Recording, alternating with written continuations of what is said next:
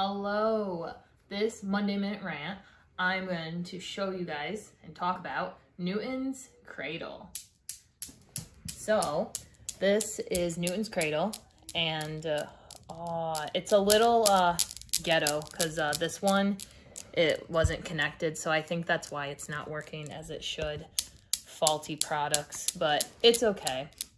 Um, so basically, this explains Newton's three laws which the first law is the law of inertia. So an object in motion stays in motion, an object at rest stays in rest unless acted upon by an outside force.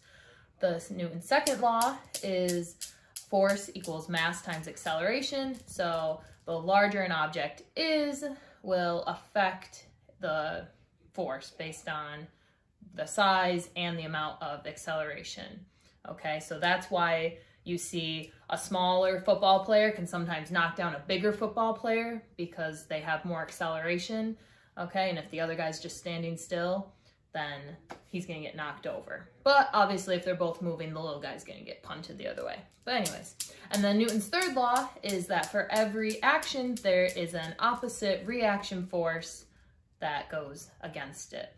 So an example of that is even when we walk. When we walk, we have our force that hits against the ground. We also have the ground's force that pushes against us.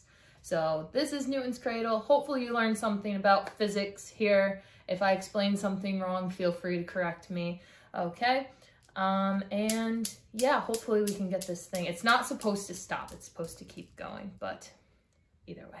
Thanks for watching and have a good day.